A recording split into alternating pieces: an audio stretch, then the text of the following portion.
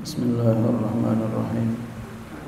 الحمد لله رب العالمين وبه نستعين على أمر الدنيا والدين والصلاة والسلام على أشرف الأنبياء والمرسلين.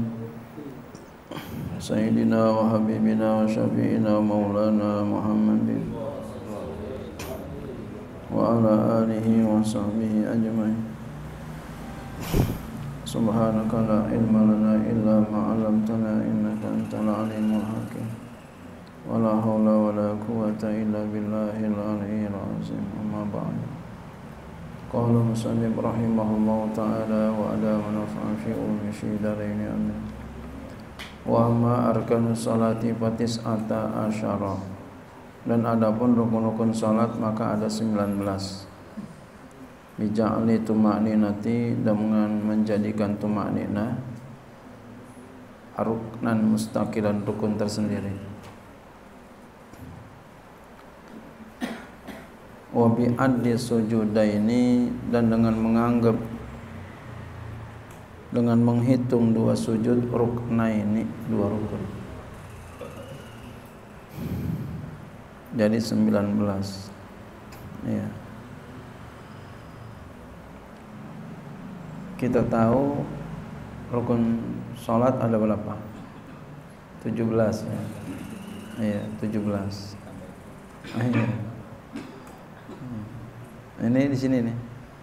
Ya, dengan menjadikan ya tumak nina rukun tersendiri. Kemudian menghitung dua sujud dua. Jadi nambah. Ya al awalu bermula yang pertama an niyatu bil qalbi. Niat dengan hati. Ya.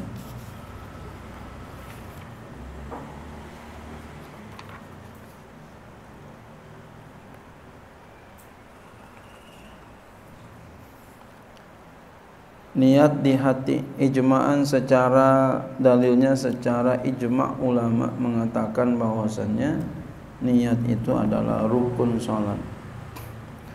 Wa yundabu nutku bil manwi dan disunahkan mengucapkan dengan niat.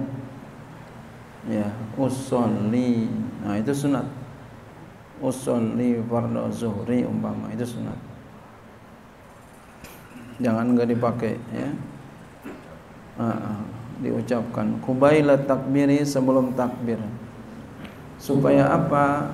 Liyu'awinan lisanu qalba. Supaya lidah dapat menolong hati. Ingat nggak bapak dulu ada tukang beras? Tukang beras kalau ngitung kan begitu satu satu dua dua dua tiga tiga tiga empat. Tukang beras keliling tuh Ah, ah ya, ya. Tukang minyak ya. Dua, dua. Itu untuk ya lidah nolongin hati biar lebih kuat. Pertama alasannya, kedua alasannya wa khurujan min khilafi man aujabahu. Keluar daripada khilaf orang yang mewajibkan. Jadi ada yang mewajibkan mengucapkan niatnya itu. Hmm. Jadi dua alasannya. Fayuhdiru fi qalbihi fi'la salati maka ia menghadirkan di hatinya melakukan salat. Ai qasda zalika artinya bermaksud demikian itu melakukan salat dihadirkan. Wa yu'abbiru anhu bi dan dia mengungkapkan darinya dengan usulnya ya mengibaratkan mengungkapkan dengan usulnya au uaddi atau uaddi juga boleh. Au ai fayaqsidu iqa as-salati.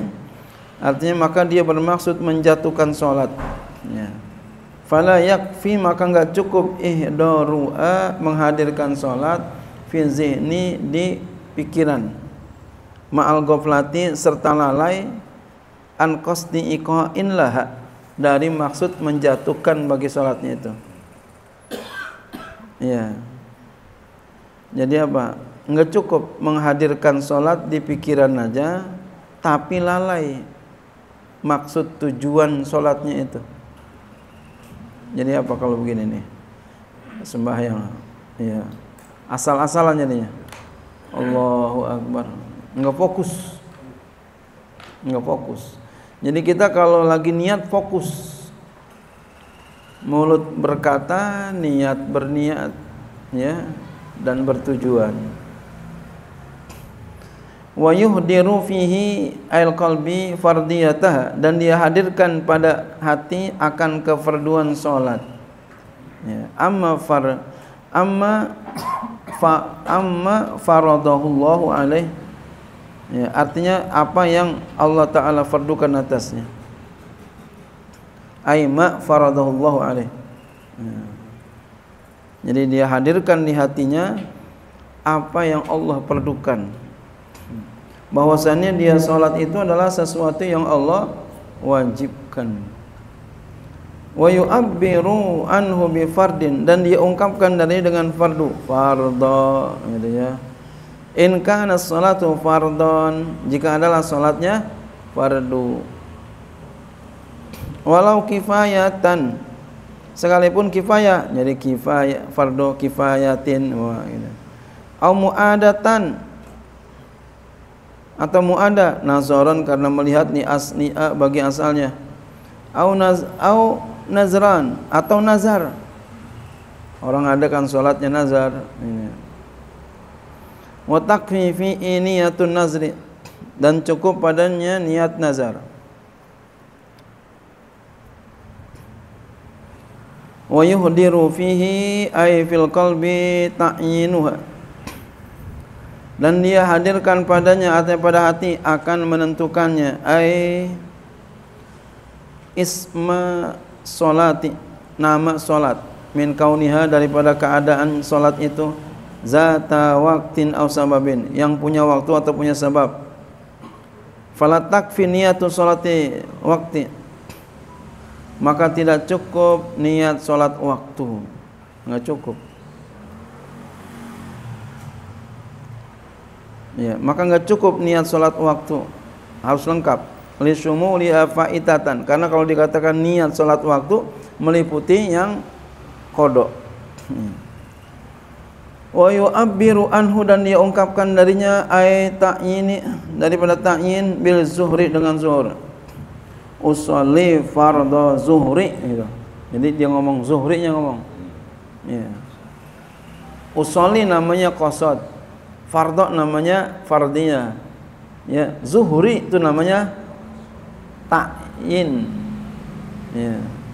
Itu yang disebut dengan qasad ta'arud ta'yin. Ya. Qasad ta'arud ta'yin. Qasad itu usuli. Ta'arud ya fardiyahnya.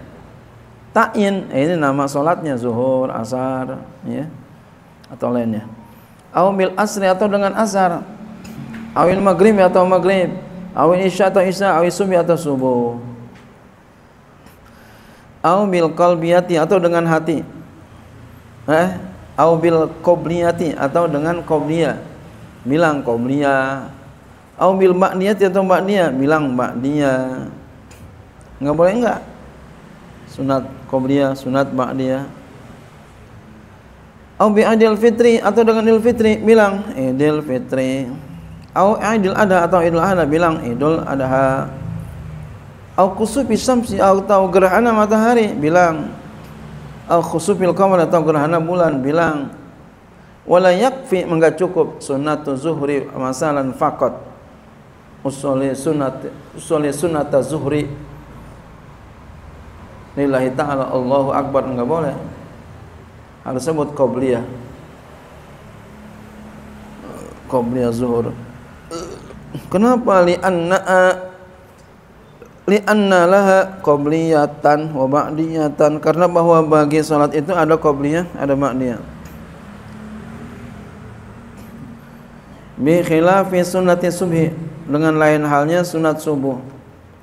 Wal asr dan sunat asar. Falaisa la umma sunnatun ba'diyatun. Maka tidak ada bagi keduanya sunat ba'diyah. Wala sunnatul idi faqat. Dan juga tidak ada sunnah id saja. Wala sunatul kusufi faqat. Enggak ada sunat khusuf saja. Enggak boleh begitu. Awil khusufi faqat atau khusuf aja enggak boleh kenapa? Li adami ta'yini karena enggak ada penentuan. Wali anna kullan minal kusufi wal khusufi qad yusta'malu likulli likullin minas syamsi wal qamari. Karena bahwa tiap-tiap daripada ya kusuf dan khusuf ya qad yusta'malu kadang digunakan likullin bagi tiap-tiapnya itu minas syamsi wal qamari daripada matahari dan bulan. Jadi harus jelas ya gerhana bulan, gerhana matahari. Fa idza hadar hadarat hadhihi salasatu fi qalbi maka apabila sudah hadir ini yang tiga di hatinya qala maka dia berkata Allahu akbar Ya. Ta'arud ta'in sudah ada di hatinya. Bilanglah Allahu akbar. Ghairu ghafinin anha tidak lalai darinya. Ai hadhihi salasati ini yang tiga enggak lalai. Wa yazidu dan dia menambahkan fi ta'yini pada ta'in istihdara makmuman. Menghadirkan makmuman. Ya. Hadir kalau dia jadi makmum. Au mu'tamanan au mu'taminan.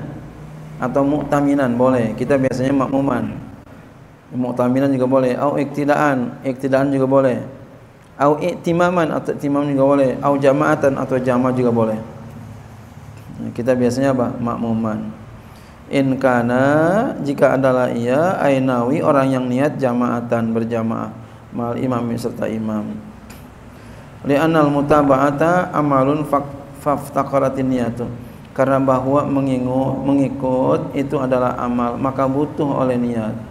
Jadi kita kalau ngikut itu adalah amal maka kita butuh niat. Kita ngikut sama imam. Wala yadurru dan tidak kenapa. Kaunul jamaati oleh keadaan jamaah. Ya. Ya enggak apa oleh keadaan jamaah.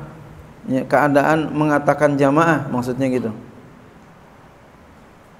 Ya tasluhu lil imam aidan. Layak juga bagi imam jadi imam ngomongnya jamaah juga. Boleh. Ya boleh. Uh -uh. Uh -uh. karena memang dia jamaah. Nah, kita biasanya imaman. Jadi imam imaman jadi makmum makmuman. Boleh. Oleh annal jamaata karena bahwasanya jamaah ya minal imami daripada imam ghairuha minal makmumi. Ya selainnya maksudnya berbeda daripada makmum fanazalat maka turunlah ia fi kulli fi kullin pada tiap-tiapnya itu alama yaliku bihi atas apa yang layak dengannya. Wa yakfilan cukup linafil mutlaki bagi nafal mutlak salat nafal mutlak. Wa huwa ma la yutaqayyad bi waqtin yaitulah salat nafal mutlak sesuatu solat yang tidak dikaitkan dengan yang tidak diikat dengan waktu. Ya wala sababin dan juga dengan sebab enggak. Wala sababi qasdi iqai salati dan juga dengan tidak dengan sebab mengqasad melakukan salat li'annahu adna darajati salati karena bahwasanya nafal mutlak itu paling rendah derajat salat fa iza qasada fi'la qasada fi'la wajaba husuluhu. Maka apabila dia bermaksud melakukannya maka wajib oleh hasilnya والله أعلم. بصواب أحسن تكبيرة الإحرام.